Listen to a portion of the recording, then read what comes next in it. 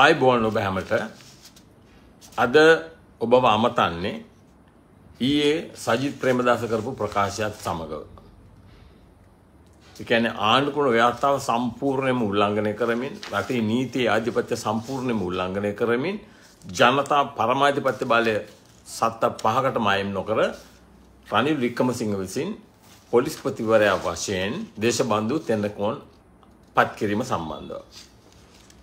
මේ සම්බන්ධයෙන් සජිත් ප්‍රේමදාස දාපු පෝස්ට් එක එතනින් අපි පටන් ගමු. මෙන්න සජිත් ප්‍රේමදාස දාපු පෝස්ට් එක. Constitutional Council didn't approve IGP appointment. Votes 4 for 4, 2 against, 2 absent absentees. At least 5 votes are required for the decision. Speaker has has a casting vote only in case of a tie. 4-2 is not a tie. Constitution is being violated, being uh, viol- blatantly violated for the second time. Shame on you, Speaker.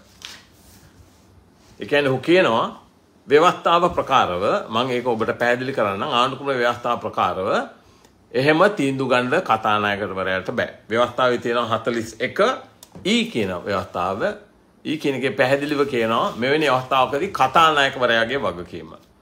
ඒක පැහැදිලිව දක්වනවා මෙවැනි පත්වීමක් කරනකොට කොන්ස්ටිටියුෂනල් council එකේ අනිවාර්යයෙන්ම පස් දෙනෙක්ගේ අනුමැතිය අවශ්‍යයි. කතානායකවරයාට ඔහුගේ මතය ප්‍රකාශ කරන්න පුළුවන් මනාපය අමනාපය ප්‍රකාශ කරන්න පුළුවන් හතරයි හතරක් වුණොත් පමණයි දහ දෙනාගෙන් හතරයි හතරක් වුණොත් ඔහුට මනාපය ප්‍රකාශ කරන්න පුළුවන්. නමුත් මෙතනදී දැන් දිල්- දැන් කෙලිම කවුද සජි ප්‍රේමදාස පෝස්ට් එකක් දාලම කියනවා හතර දෙනයි හිටියේ පක්ෂව දෙන්නෙක් එක වප- විපක්ෂයි අනිත් දෙන්න ආවේ නැහැ. එතකොට තවත් එක්කෙනෙක් දහ දෙනාගෙන් අනිත් එක්කෙනෙක් ක- කතානායක අනිත් එක්කෙනා ගැන මෙතන සඳහනක් නැහැ. එහෙම එවැනි අවස්ථාවක මේ පත්වීම සම්පූර්ණයම ව්‍යවස්ථා විරෝධී නීති විරෝධී සදාචාර විරෝධී ජනතා පරමාධිපත්‍ය බලයට සම්පූර්ණයෙන්ම පටහැනි. මෙවැනි අවස්ථාවක ඔය ප්‍රකාශ කිරීම ප්‍රමාණවත්ද? මොකද්ද සජිත් ප්‍රේමදාසගේ වගකීම? ඔහු ඇවිල්ලා පාර්ලිමේන්තුවේ විපක්ෂ නායකවරයා. මම අද උදේ සජිත් ප්‍රේමදාසට ඇරිය මැසේජ් එකක්. එයාගේ වගකීම මොකද්ද? ඒකම කොපි කළා අනුර කුමාර දිසානායකටත්. මෙවැනි අවස්ථාවක ආණ්ඩුක්‍රම ව්‍යවස්ථා ප්‍රකාර 41J පැහැදිලිවම තියෙනවා මේක ජනතා පරමාධිපත්‍ය බලය බලගන්වමින් ශ්‍රේෂ්ඨ අධිකරණයේ අභියෝග කරන්න පුළුවන්. ඒ වගේම අධිකරණයෙන් ඉල්ලන්න පුළුවන් අපිට අතුරු තහනම් නියෝගයක් එතකන් මේ මේ පත්වීම වහාම අත්හිටුවන්න. ඒකයි කළ යුත්තේ. නමුත් සජිත් ප්‍රේමදාසවත් අනුර කුමාරවත් ඒකට කිසිම කිසිම ප්‍රතිචාරයක් දක්වන්නේ නැහැ. මොකද ඔවුන් බයයි මේකයි තියෙන ප්‍රශ්නේ. අපිට වෙලා තියෙන දේ රටේ පුරවැසියන්ට මේ රටේ ඔක්කොටම වෙලා තියෙන ප්‍රශ්නේ මේ රටේ ජනතාව නීති ආධිපත්‍ය බ- ගැන ගරු කරන්නේ නැහැ. ජනතා පරමාධිපත්‍ය බලය ගරු කරන්නේ නැහැ. ඒ වගේම රට මාතෘභූමිය ගැන ගරු කිරීමක් නැහැ. ගරු කිරීම තියෙන්නේ ඇ- ඇ- ඇදී බැඳී වැලී හිටින්නේ දේශපාලන පක්ෂවලට. ඒකයි මේ රටට මෙහෙම වුනේ. දැන් ට්‍රේඩ් යුනියන් එකක් ගත්තත් එහෙමයි. ජාතික සේවක සේවක සංගමේ ජනතා විමුක්ති පෙරමුණ ඔය හැම එකටම තියෙනවා ට්‍රේඩ් යුනියන්. ලෝකෙ එහෙම නෑ වෙන රටවල් වල. ට්‍රේඩ් යුනියන් නම් ට්‍රේඩ් යුනියන්. දැන් අතොත් අපි ලන්ඩන් වල ගත්තම අන්ඩර්ග්‍රවුන්ඩ් දුම්රිය සේවය ගත්තොත් ඒක ට්‍රේඩ් යුනියන්. ඒකට ආණ්ඩුව සම්බන්ධයක් නැහැ. උන්ගේ අයිතිවාසිකම් වෙනුවෙන්. නමුත් මෙතන එහෙම එකක් නැහැ. දැන් මෙතන විය යුතු දේ මොකද්ද? අනිවාර්යයෙන්ම සජිත් ප්‍රේමදාසයි. ඒ වගේම අනුර කුමාර දිසානායකයි. මේක ශ්‍රේෂ්ඨාධිකරණයේ අභියෝග කරන්න ඕනි. වහාම මොකද සජිත් ප්‍රේමදාස තමයි දන්නේ පක්ෂව දුන්න දෙන්න කවුද? විපක්ෂව දුන්න හතර දෙනා කවුද? ඔහු දන්නවා. ඒ හතර හතරයි දෙකයි කවුද ඡන්දය දුන්නේ කියන එක ඔහු දන්නවා. ඒ අනුව ඔහුට පුළුවන් මේක ඍජුවම ශ්‍රේෂ්ඨාධිකරණයේ අභියෝග ගන්න මම ඒකයි කිව්වේ. අද සජිත්ට දැනුම් දුන්න ප්‍රකාශිතව වහා මේ ගැන දැනුවත් කරන්න. මොකද මේක ස්ට්‍රේට් ෆෝවර්ඩ් මැටර් එකක්. එක පාටම අධිකරණයට ඉල්ලලා මේ පත්වීම අධිකරණයේ තීන්දුවක් දෙනකම් වහාම අත්හිටුවන්. ඒකයි විය යුතු දේ. අජිත් ප්‍රේමදාස බයයි මොකද මේගොල්ලෝ ඔක්කොටම ওই ප්‍රශ්නේ තියෙනවා. මීට ඉස්සෙල්ලාද එහෙම කොල්ලොත් එම කෙලින්ම රනිල් වික්‍රමසිංහ ඇල්ල ප්‍රසිද්ධිය කියන්න පුළුවන්. ඇයි උඹ එදා මටත් මාත් එක්ක එකතු වෙලා ඡන්දේ කල් දාන්නට අතිසුවේ නැද්ද? කියලා ඇහුවොත් එහෙම එක ප්‍රසිද්ධ කොල්ලොත් එහෙම රනිල් වික්‍රමසිංහ මුළු රටම සජිත් ප්‍රේමදාස එරෙහිව නැගී සිටිනවා.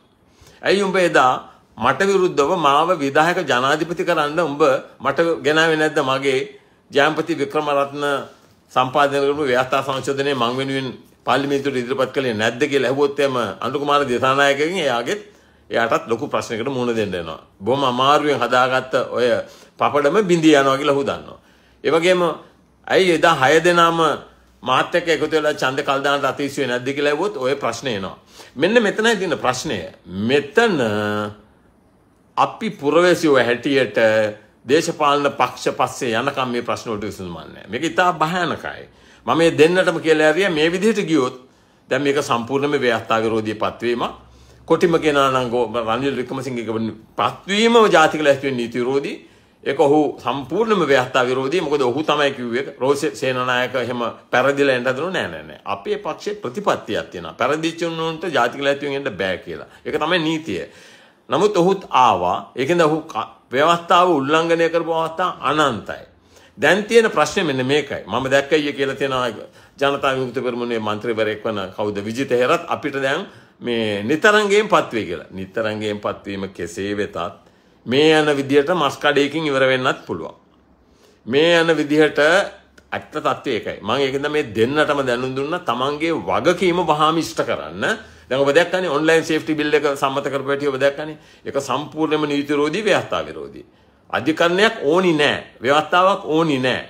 නීතියක් ඕනි නෑ. අධිකරණය පැහැදිලිවම ඔන්ලයින් සේෆ්ටි බිල් එක මේ විදිහට සම්මත කරනවා නම් රටේ ජනරජයේ පරමාධිකාරී බලවතාවන ජනතාව එක සම්මත කළ යුතුයි. ඒක කළේ නෑ. කෙලින්ම පාර්ලිමේන්තුවේ මේක සම්මත කරනකොට කතානායක කෙලින්ම ඇහුව මහින්ද යාපා අබේවර්ධන නීතිපතිගෙන් මේකට උපදෙස් ගන්නවා කිව්වා. මොකද ඊට පස්සේ ඒක පාර්ලිමේන්තුවේ සම්මත කළා. එතකොට ජනතාවගේ අධිකරණ බලය බලගන්න ශ්‍රේෂ්ඨ අධිකරණේ සත පහකට වයින් කළේ නැහැ. එතනදිත් ඒකත් ඇවිල්ලා අධිකරණයට කරපු ලොකුම අපහාසය. කවුද ඒකට වග කියන්න ඕනේ? කතානායකවරයා වග කිය යුතුයි. ඒ විදියට ඒ වගේම නීතිපතිවරයා සංජය රාජරත්න වග කිය යුතුයි. අධිකරණ තීන්දුව පැත්තකට විසිකලා හිටන් මේ විදියට ඒ පනත පනත සම්මත කිරීම සම්බන්ධ. මේක ලංකාවේ පළවෙනි වතාව නෙවෙයි. 2017 සැප්තැම්බර් මාසේ 8 වෙනිදා ඡන්ද කල් දාන්න බෑ කියලා ශ්‍රේෂ්ඨ අධිකරණයේ තීන්දුව කරපු අවස්ථාවේදීත් ඕකම තමයි වුනේ. අධිකරණ තීන්දුව පැත්තක ප්‍රති කළා ඡන්ද කල් දැම්ම ඒ දවසේ ඔය ඔක්කොම ටික අතීස්සුවා. කරුණාකරලා ඒක තේරුම් ගන්න. බොරුවට මේ නාගානන්දට බැනලා වැඩක් නැහැ. ඔහු පෙනී හිටින්නේ කිසිම දෙයක් කරන්න බැරි ජනතාව හා නීති ආධිපත්‍ය අධිකරණ ස්වාධීනත්වයේ ඒ වගේම ජනතා පරමාධිපත්‍ය බලය ආරක්ෂා කිරීමට මිසක් ඔය කිසිම දේශපාලන පක්ෂයක් පිළිගන්නේ හේතුව ඔය කිසිම දේශපාලන පක්ෂයක අර මම හතරක් ඔබට කියන්නේ honesty integrity loyalty credibility. අවචල අවංකත්වයේ නීතිගරුකත්වයේ හා විශ්වාසනීයත්වයේ බිඳුවයි. ඔබේ කැමති ගමනක් රටේ පුරවැසියන්ට යන්න පුළුවන්.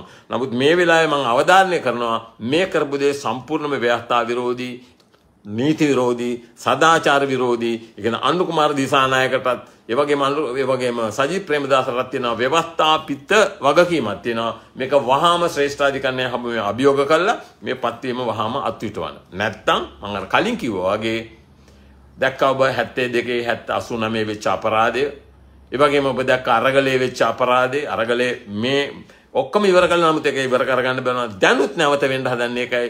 දැන් අර කියලා තියෙන ලස්සන කතාවක් කියලා තියෙනවා ජනතා විමුක්ති පෙරමුණේ හිටපු නිර්මාතෘවරයා වෙන්ව ගමන් කරමු එක්ව පහර දෙමු කියලා.